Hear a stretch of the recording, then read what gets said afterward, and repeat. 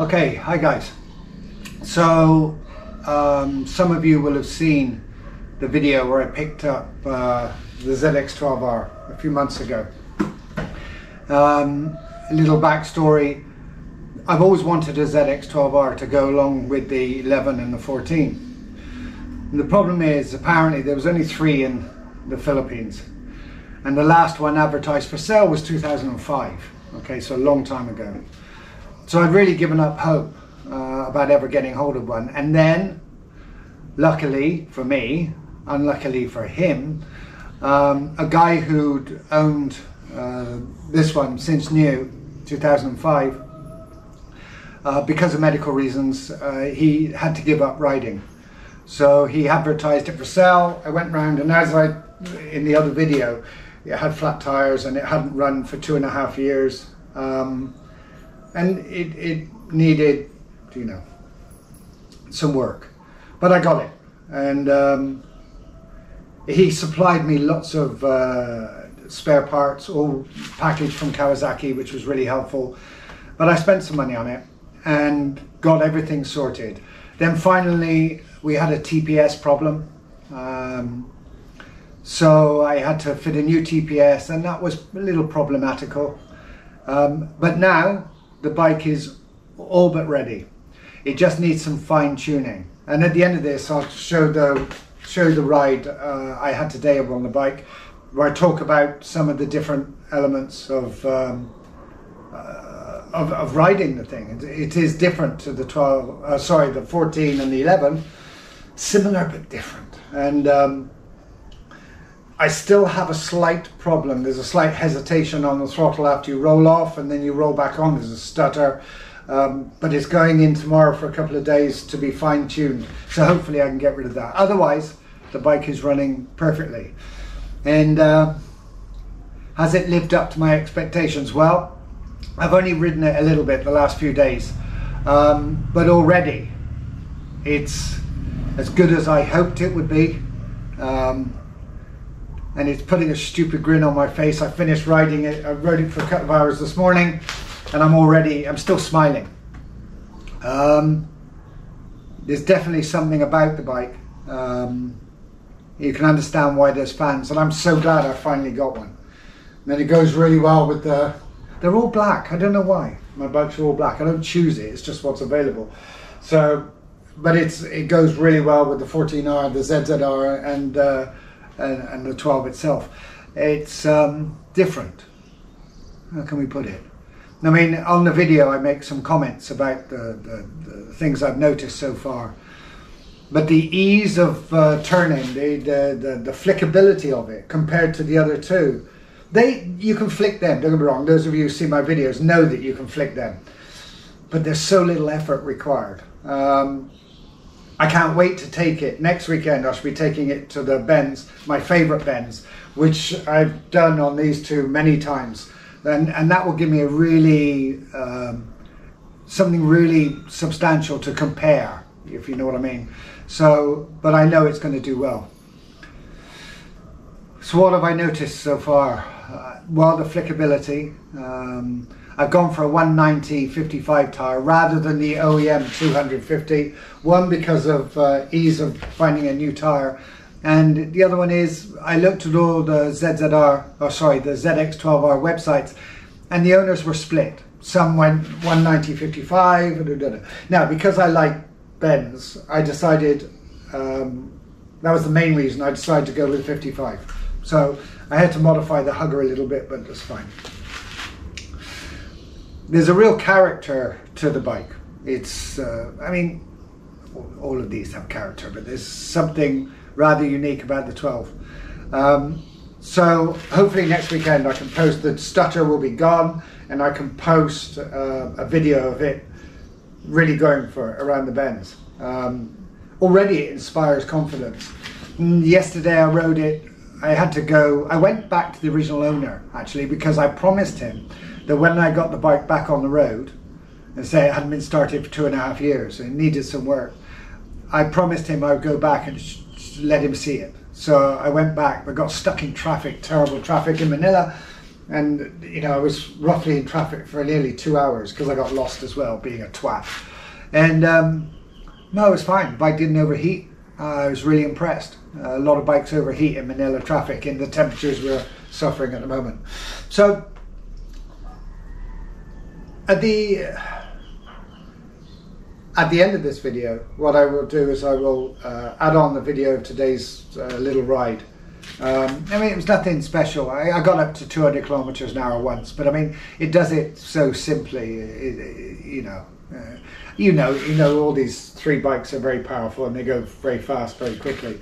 Um, but yeah, it's uh, it's a hell of a machine, and it's uh, living up to everything I expected, even more. Um, the problem is now which bike do you ride? I'm a very lucky chap. Um, so the big question is now which one to ride. Well, tomorrow I'll be riding the 14 uh, because this one, I'll be riding this one to take it to the tuning place, and then I'll be riding this one afterwards. And then the on Wednesday I have to go somewhere, so I'm going to take the 11. Um, but it's a nice problem to have. I'm pretty lucky. All right, so uh, watch the video. Um, the video, I'm using a chest harness with GoPro, and uh, for some reason it, it, moved to the left, so it's like the camera is sort of hanging off, you know. But uh, it, it's okay. All right. So anyway, cheers, guys. Ciao. See you guys.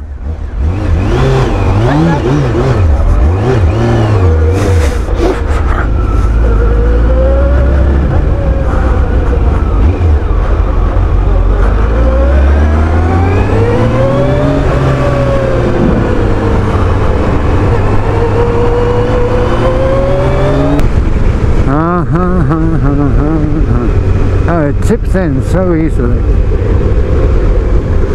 Quite amazing.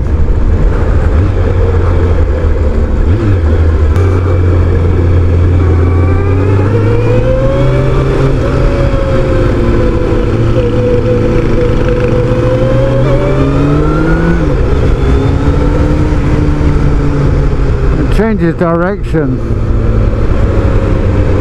effortlessly, certainly in comparison to the, the ZZR11 and the 14.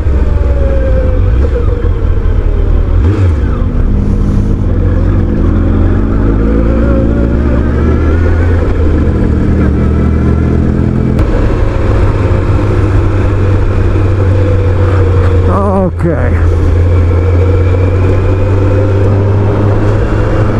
What we got here?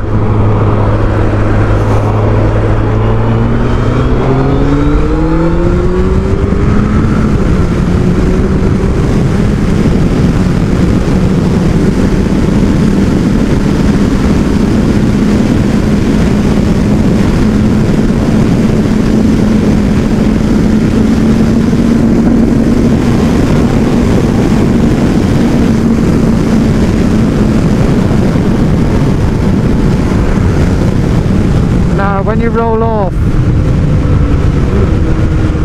there's a stutter.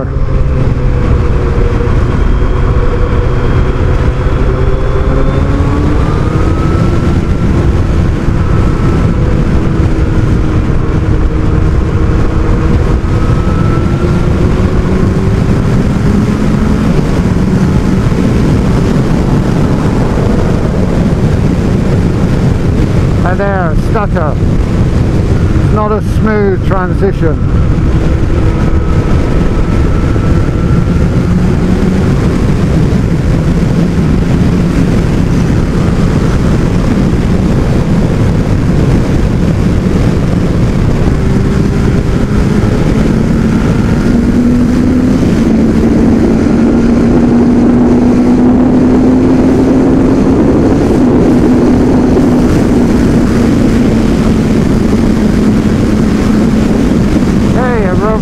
nice. But again, when you roll off on the overrun, there's a stutter when you try and open the throttle again.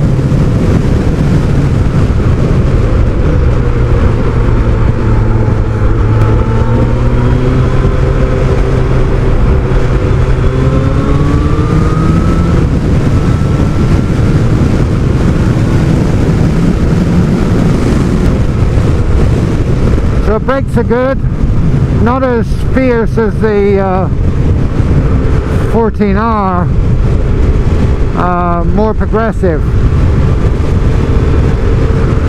Similar to the six pots I have fitted to the ZZR11, but stronger than the ones fitted to the 11. Requires less lever pressure. It is remarkably stable even though the steering head angle is quite acute in comparison to say the ZZR11 but it feels very stable.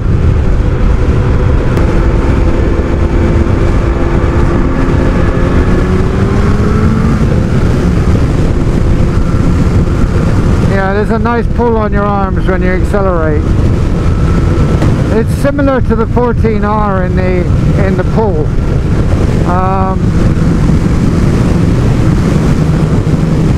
maybe not quite the same instant snatch that you have on the 14R but then again I've still got this fueling issue which is perhaps impacting that.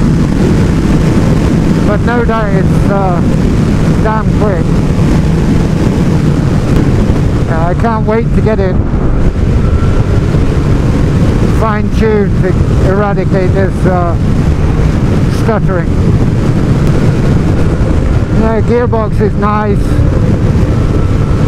Action on the clutch is nice. I mean, I'm only using a small amount of the power available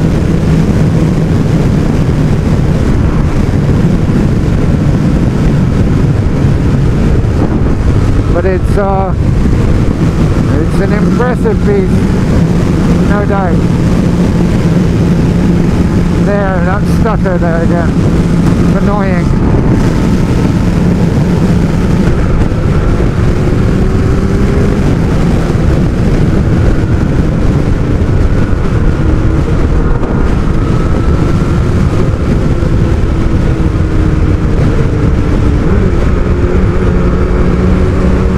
When you roll off the throttle to change gear. And then you snap the throttle open once you change gear. It's when the stutter happens.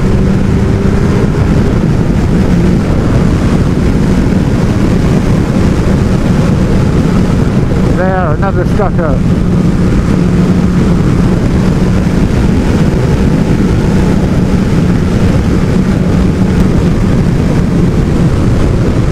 really are out of my eye line. I just left the indicator flashing there.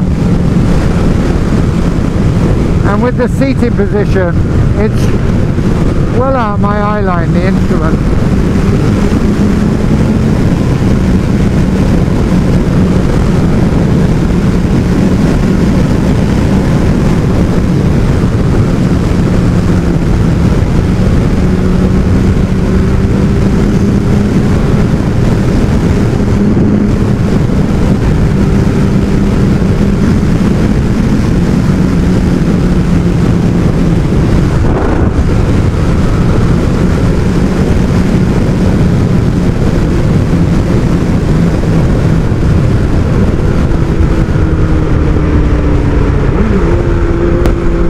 I'm really getting to like this like I don't know what it is about it but there's something. Like just get this damn stuttering sorted out.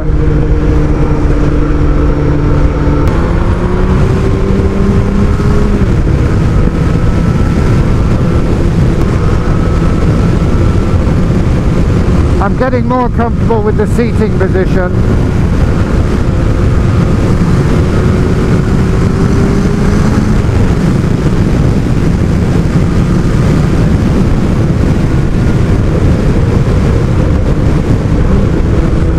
few aches and pains. I rode it in a lot of heavy traffic yesterday and uh, the inside of the thighs, the tendon, a little sore but today it feels fine. And it's just your body adapting to the different seating position. Yeah, brakes are strong. I like these brakes. But progressive. You know, when you've got no ABS, you don't want them coming on, you know, full jack.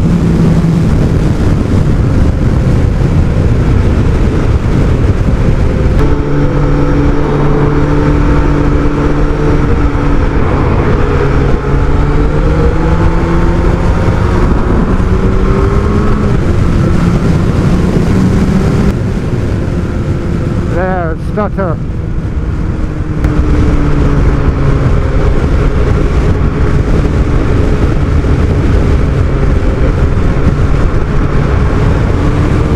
Uh, hopefully I can get it fixed over the next couple of days.